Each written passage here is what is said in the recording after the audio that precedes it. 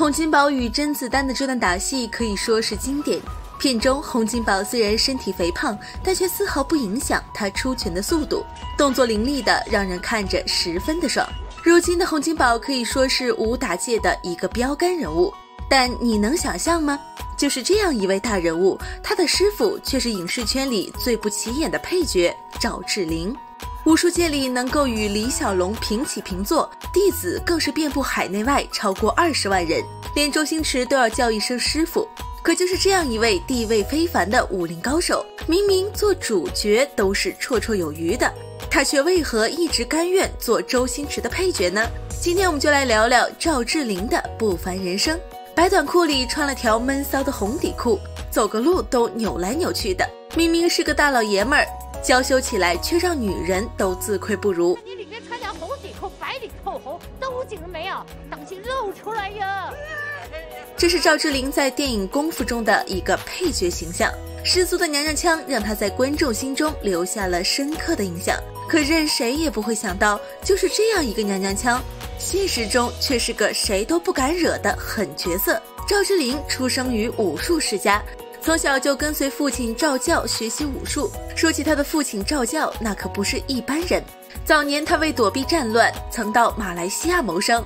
为了在外能不受欺负，就跟随黄飞鸿的叔叔黄世荣学习武术。后来辗转回到香港，适逢黄飞鸿的弟子林世荣正在港社馆收徒，于是便又正式拜了林世荣为师。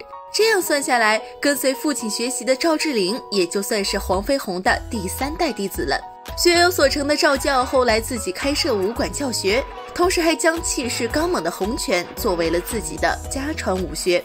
受到父亲和生长环境影响的赵志凌，自然从小就开始学习武术。洪家拳以坚固著称，讲求腰马合一，所以他三岁便跟着师兄弟一起练习扎四平大马，同时还要学习巧手和一些腿法变化。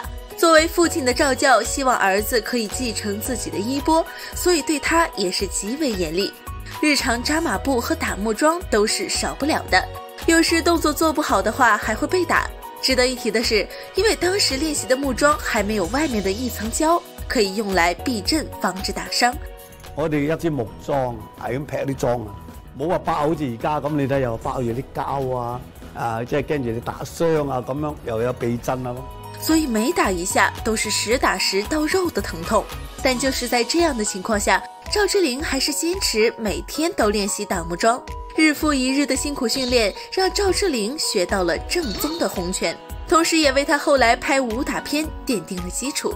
上世纪七八十年代正值香港动作片发展的黄金时期，众所周知，拍打戏时武行免不了都会受伤。赵志凌家虽然是个武馆，但同时也兼着医馆的作用，所以不少武行受伤后都会到赵志凌家治疗。这样一来二去，会武术的赵志凌很快就被电影公司相中了，并相继拍摄了不少电影，比如成龙的经典功夫片《蛇形刁手》，赵志凌就在其中饰演了一位武馆师傅。为了留住报名学员，他首批三块红砖头。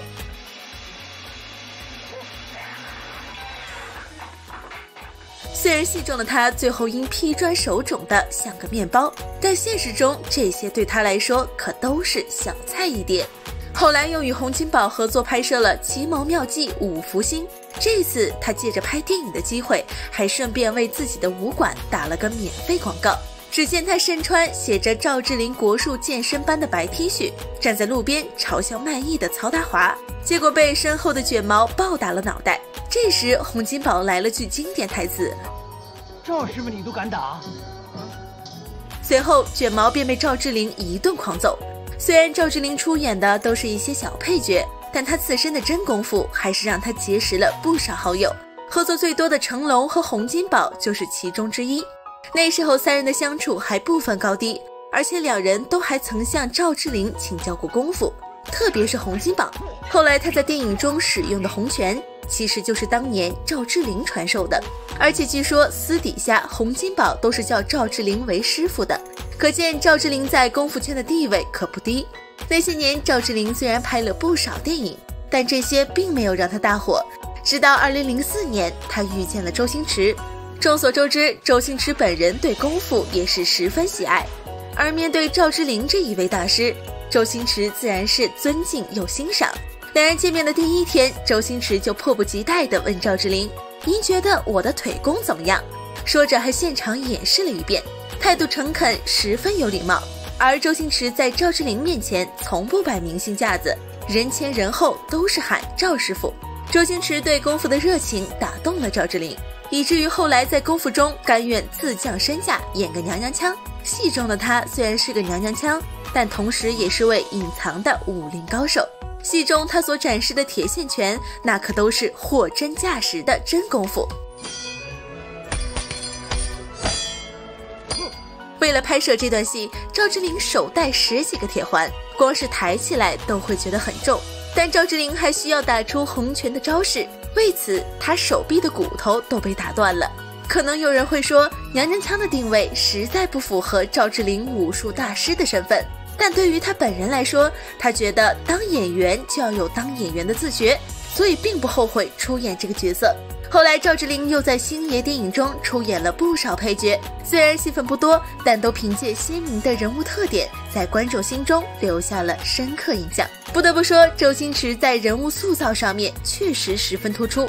就这样，赵志玲成了周星驰的武术师傅，而周星驰则成了赵志玲演艺事业上的伯乐。